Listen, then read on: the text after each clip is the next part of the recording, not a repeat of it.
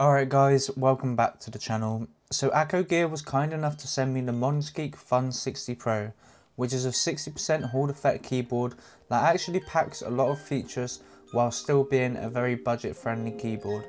And in this video today, we're going to unbox the keyboard, give our opinion on this keyboard, and then we will test it out in some games. So let's get on with the video. So first thing I'll say is Akko Gear did send me this out for free. However, they did not sponsor this video or pay me to review this product. So all thoughts and opinions are my own and I'll make sure to be 100% honest with you guys and give you my genuine opinion. So this is how it comes packaged. Obviously it comes uh, inside a standard box as well. So it's got some decent packaging obviously this is what it looked like. I had it the wrong way around. Obviously no one really cares too much about the packaging. We just want to know about the keyboard. So obviously you do get your little keycap or your keyboard cover just to protect it. It's like a dust cover. And you do get this separate part that pops out as well. Maybe some spare switches as well so you get your keycap and switch puller, which is pretty standard for most keyboards nowadays. So as you can tell, this keyboard is hot swappable as well, so we will go further into detail with that. But the cable is quite long, which is nice because sometimes they will supply you with a really short cable. And you do get a little instruction manual. And this is the keyboard. So this is the ISO layout one. And as I mentioned earlier, it does come with a bunch of features. So this keyboard is a Hall effect keyboard. So of course you're able to adjust the actuation within their software, which we will cover later in the video. And this keyboard does actually have an 8000 Hertz polling rate. And it also is cross compatible with a lot of mainstream magnetic switches, which I will go over again later. We'll go over some of the switches that it's compatible with. Of course, it's best to only use the switches that um, they say are recommended or compatible with this keyboard and some of them switches include the Akko Windy slash Glare, the Gateron Jades, the Gateron Jade Pros and the Gateron Jade Gamings, the TTC Uranus and TTC King as well. They are all compatible switches. But this is what the keyboard looks like.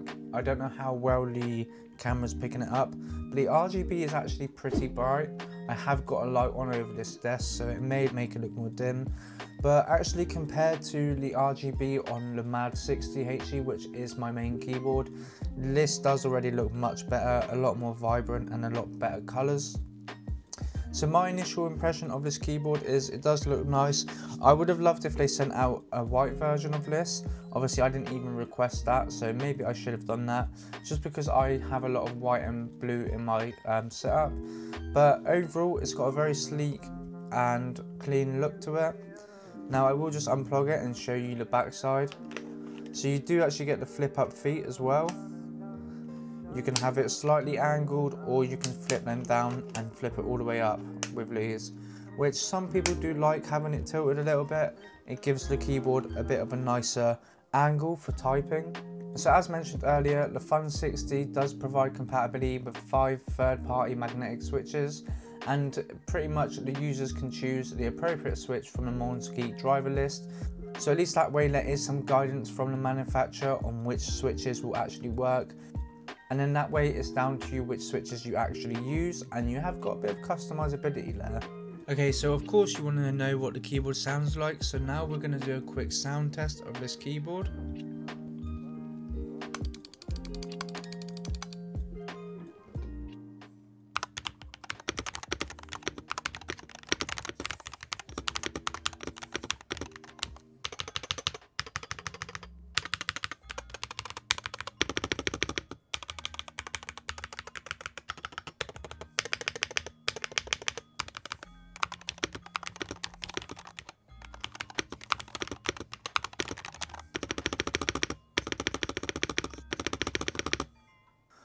Okay, so there's a sound test of the keyboard. Now, if I'm absolutely honest, compared to the MAD 60HE stock, the switches do not sound as good, but as we already know, you can swap out these switches and you can use a wide range of different switches. I could take my Gateron Jades out of my MAD 60 and put it in here. And the thing is, Obviously it's hot swappable, so there's a lot of customizability you can do. You could definitely do a few mods and make this keyboard sound even better. But overall for the price and the features that you get with this keyboard, it's definitely a good option. So of course, as mentioned, this is a 8K polling rate um, keyboard. So what this means is that you will get them ultra fast response times and smoother, more precise inputs. Now 8K polling rate definitely hasn't become the norm in gaming. I actually use a 1K polling rate keyboard and I have no uh, issues with smoothness or response times but there are many people out there that probably use an 8k hertz polling rate keyboard and they probably won't want to use anything else. So at least with this keyboard you do get that feature of having an 8k polling rate and obviously at a good price as well. So what I would actually like to do is take one of the keycaps off and have a look at the switches. So we will use the tool that comes with the keyboard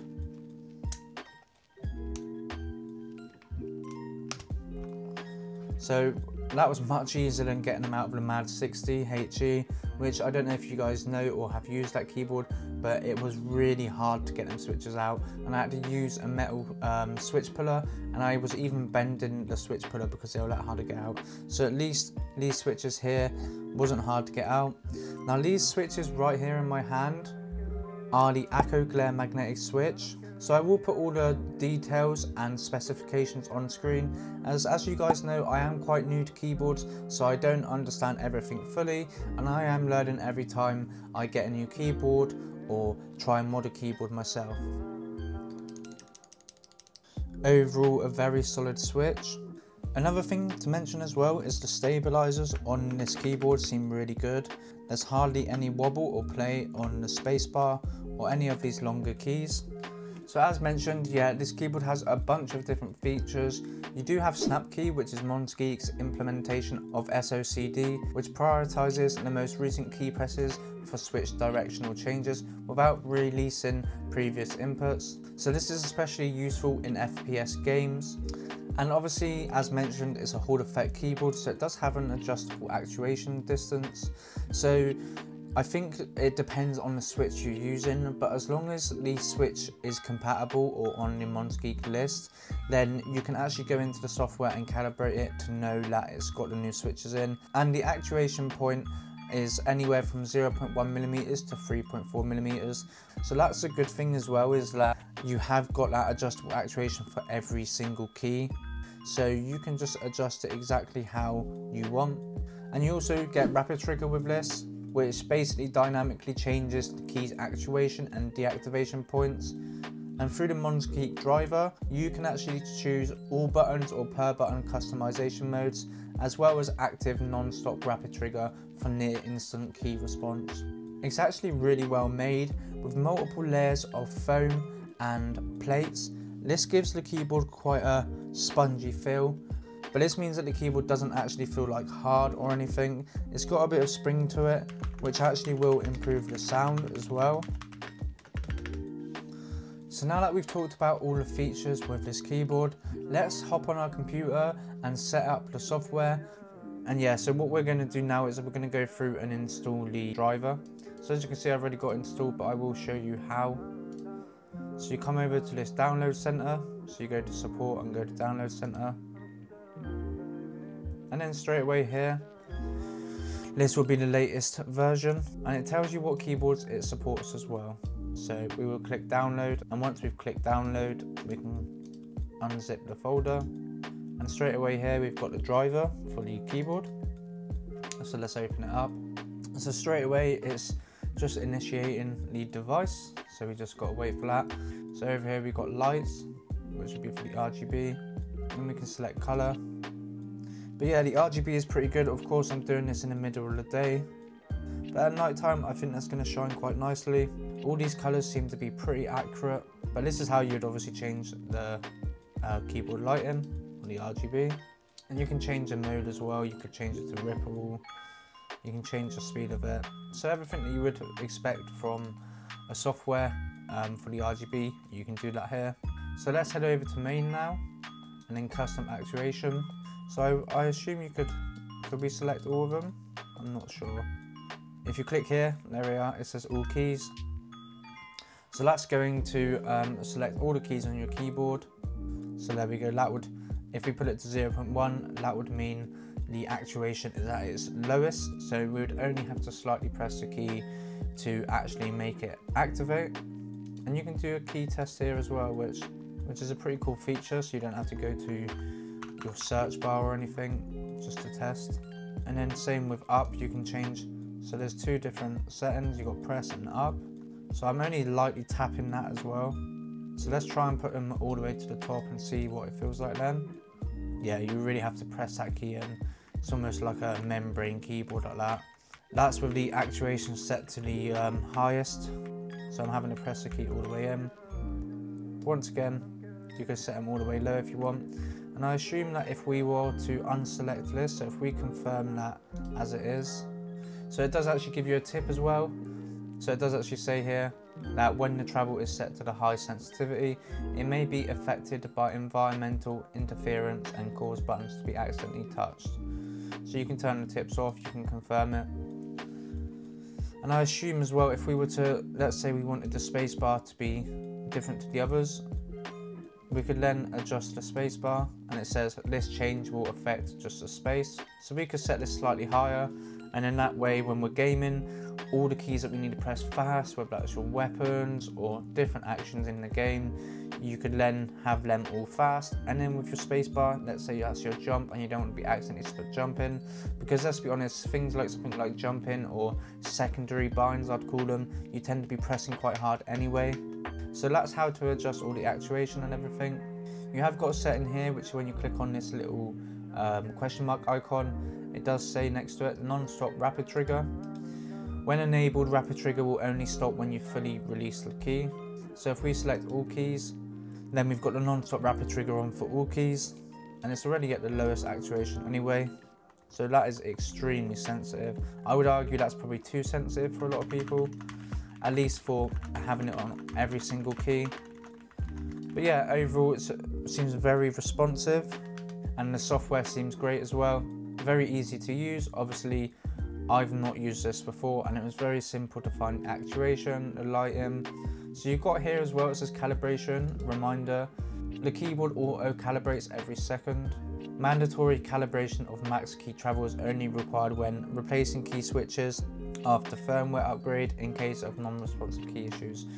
So if you've changed the switches in this keyboard, you will need to come here and click on calibration. And then it will say it's travel calibration in progress and what you've actually got to do is go along and press every key hit confirm and it's going to calibrate everything so that's a very good thing as well is um, a lot of people were saying to me before with my previous keyboard the mad 60 people were asking me what switches work. They were saying when i've used certain switches a rapid trigger wouldn't work. At least that way you already know from the website what switches will work. And you can come in here calibrate it and it's all going to work perfectly. As long as the switches you're using are the ones they've recommended or have said will definitely work with this keyboard. So a few other things, we've got profiles here. I think you need to log in, but you can set different profiles. The benefit of that is you can have a gaming profile and with very low actuation points. So it would be extremely responsive. And then let's say you're doing a lot of video editing, typing, or just chilling, you could, you could switch to a different profile and have the keys not as responsive, which I think is a great feature in itself as well. So you've got your function of highlighted keys here, your FN keys, you've got macro, and I assume this is where you can share profiles. Yeah, so there's different profiles, so that's actually pretty cool. So I guess these are like the community shared uh, profiles for like RGB and stuff. So you can like it and then you can actually go to your my like and um, select all the different ones that you um, have kind of liked. And like I said, I think you need to log in for all this. In the about section, you've got obviously the app version. You can check for updates. You can check for the firmware uh, version. You can upgrade it here. And it says here the firmware is the latest version, does not need to be updated. But now we've had a look at the software, let's hop into a game. We'll hop into some Fortnite, we'll see what we think of the keyboard, see how it feels. And then that way I can give you an actual in-game experience kind of opinion about what this keyboard feels like. Overall, I think it feels really fast.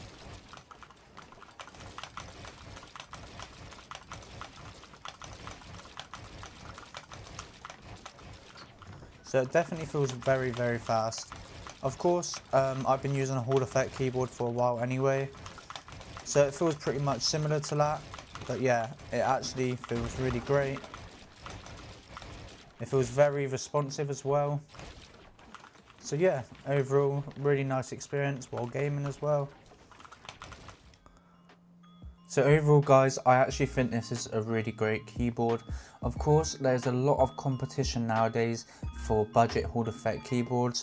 And honestly, the only reason I went for the Mad 60HE was at the time, it was just the video I seen of this really cheap Hall Effect keyboard.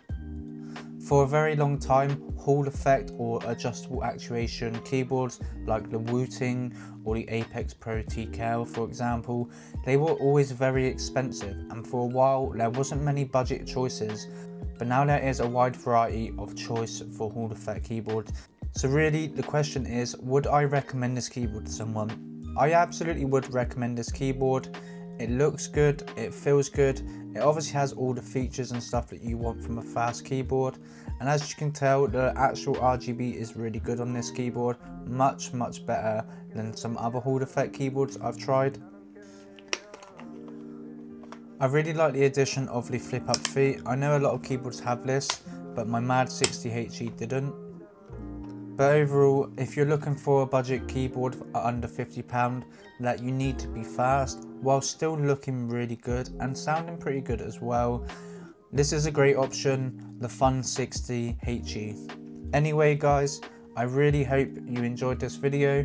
I will also leave a link to this keyboard in the description and you can use code SPECBENCH for 10% off your order as well. Anyway, I hope you all enjoyed this video and I'll see you all soon.